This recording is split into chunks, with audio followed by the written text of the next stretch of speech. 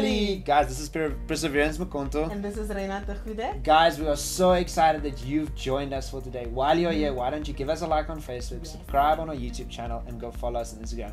And if you're there and you want to share this word with someone, do that as Mm-hmm. well. Absolutely. Like, it is so important to share the gospel because that's what it's all about. Yeah. And family, I want to take a moment to say thank you for your generosity. Mm. Thank you for faithfully sowing and partnering with online ministry. We Yeah. are able to reach people in and out of the week, and it's incredible that we get to do that. So, thank you. If you need details on where to give, they are on the screen. Guys, and then get excited with us. Today, Pastor Barend is bringing the word, so sit back, get your notes Mm-hmm. ready. The sermon's going to be on fire. Absolutely. As we look back on this tumultuous year, we are truly grateful for His grace that has been with us in every situation. While we have no idea what 2021 has in store for us, we know how we will start the year with a week of prayer, fasting, and consecration. I'm pleased to announce that our 2021 theme is Awesome God starting with our week of prayer and consecration and continuing through the whole year, we want to focus on the greatness and the goodness of God. I want you to join us January 11 through 15, 2021, as we consecrate ourselves and seek God and know more about our awesome God.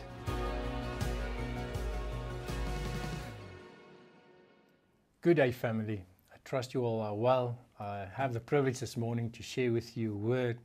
But what an amazing time we we are going into, and I want to agree with what Pastor Steve Morrell just shared on the video about our, our fast and prayer time going starting in, on Monday. Really want to encourage you to join us as a spiritual family to to pray and fast. Uh, for us as a spiritual family, but also for you as a family and your family members, and also for the community and our country. Um, so let's use this time, let's pray together, let's stand together and trust God for miracles of miracles and share those testimonies. So this morning I have the privilege to share, and I want to share something um, about the topic is how you start matters. Now, when we look at 2021, and, and normally this time of the year, people want to start good and they want to start strong. And, and, and I want to tell you this morning that the way you start, it will matters. So let's pray. Father, I thank you that, that this morning this word will touch lives, will impart lives, will change lives, Lord. And I thank you that every person that will hear this will be motivated, Lord God, will be encouraged to run the race that you have set before us. In Jesus' name, amen. Amen. So maybe your start of 2021 didn't went so well. It, it, it started with some bumps and and uh, remember uh, just after Christmas uh, uh our president announced that we uh, went back to level level 3 and it feels like 2021 starts slow or maybe start with a downhill instead of uphill and, and I want to encourage you in, in this time and, and share with you uh, the, the way you start it matters in life. I want to ask you this question. If we didn't start with a lockdown level 3, but we started with uh, no levels, will it still be the same?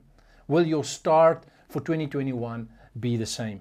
So 2020 had, had ups and downs. We had the COVID, we had the lockdowns, and there were many things that we can zoom in, talk, and discuss about uh, people that that we know that, that got sick or people that we lost. Um, uh, due to COVID-19 and, and it, 2020 was, was a tough year. But at the end of this, we can start 2021 with, with, with strong and with the mindset of we're going to do great things for God together. I want to share 2 Timothy 4 and uh, 4 verse 7. It says, before I read this, is it's a uh, Paul is in prison and it is his last words sharing um, to, to the people and even the prisoners uh, in that time. And it says in verse 7, it says, I have fought the good fight. I have finished the race. I have kept the faith. And this is what I want to encourage you this morning. Is fought the good fight. Finish the race and keep their faith. What did Paul mean when, when he said he had to fought the good fight? And in the Greek word agonizomai, translated fought means literally to engage in conflict. And, it, and, and in context, it means they're competing in athletic games or they're competing in a military conflict. Now, currently, we might feel like, man, we are in war right now with this COVID and, and all the challenges that we are facing. Maybe you feel you are in a battle currently in your life. Maybe it's depression, maybe it's, it's relationship issues, maybe it's the COVID, maybe it's. There are so many things that you feel like, man, you are in a battle. But I want to tell you this morning and, and just reassure you that the war is already won. Jesus Christ already won the war for us. We are facing some battles today. And, and, and I'm going to touch on a, a few things that you can apply in your life to help you fight these battles on a daily basis. Ephesians 6, verse 12, it says, For our struggle is not against flesh and blood, but against the rulers, against the authorities, against the powers of the dark world, and against the spiritual forces of evil in the heavenly realms. And here we see um, it talks about that our fight is not against each other, and maybe in this time or Christmas time or New Year time, you had to, you had to fight with, with your family members, or you had to fight with people. May we put our mindsets on 2021 that the, the fight we are fighting, the battles that we are fighting, is not against people, but it's, it's against the enemy. Verse 13 and 18 gives us so beautiful picture. It says, Therefore, put on the full armor of God, so that when the day of evil comes, you may be able to stand your ground. And after you have done everything, to stand. Here's what I want to declare over you prophetically this morning stand your ground. Stand your ground. It says, verse 14, Stand firm then, with the belt of truth buckled around your waist, with the breastplate of righteousness in place, and with your feet fitted with the readiness that comes from the gospel of peace. In addition to all this, take up the shield of faith, with which you can extinguish the flaming arrows of the evil one. Take the helmet of salvation and the sword of the Spirit, which is the word of God. And then verse 18, and pray in the Spirit on all occasions with all kinds of prayers and requests. With this in mind, be alert and always keep on praying for all the Lord's people. As we are entering in a fast and prayer time, I really want to encourage you to pray. Set time with your family, set time with your friends, and pray. Take, take take the tools that this word is giving us and apply it in our lives and, and, and fight every battle and fight the good fight. May we fight the good fight and be watchful in all that we do. So, verse 2 Timothy 4, verse 7 says, I, will, uh, I fought the good fight. And then Paul writes, he says, I finished the race, I have kept the faith. I want to ask you this question How would, how would your race look like? how, the race that you are currently running as, as a son of God, as a daughter of God, as a Christian, how is that race? How does it look like? Run to the end. I really want to encourage you. Run that race as if it is your last race. Never give up.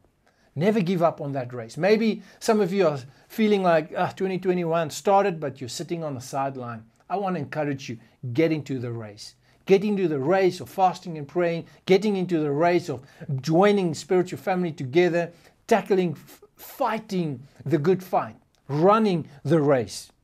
Are you ready? Are you in the race? Hebrews 12, verse 1 and 2 says, Therefore, since we are surrounded by such a huge crowd of witnesses to the life of faith, let us strip off every weight that slows us down, especially the sin that so easily strips us up and let us run with endurance the race God has set before us.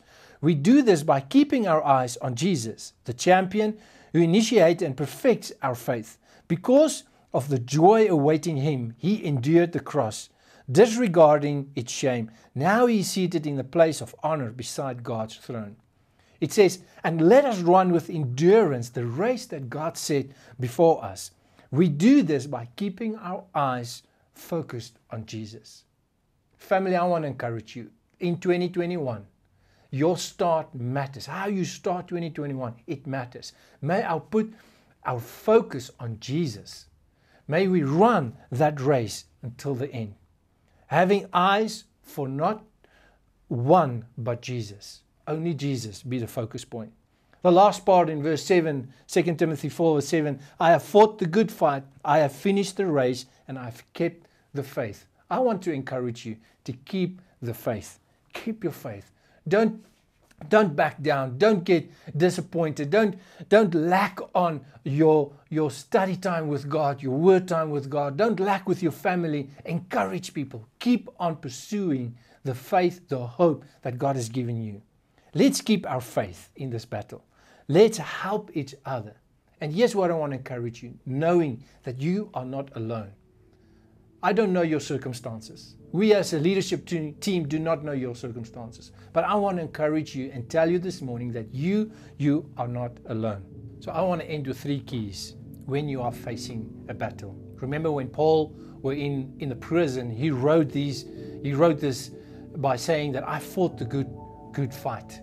I've run the race and I've kept the faith. And the first key is I want to encourage you in this time beginning of 2021 going forward is loving God more create time as a family together where you can talk about the goodness, the, the greatness of God, knowing that God is, is awesome and that, that by loving Him and knowing that He loved you first, remind yourselves and, and your family and the members that, that we can love God more in what you do, in serving your family and serving your people.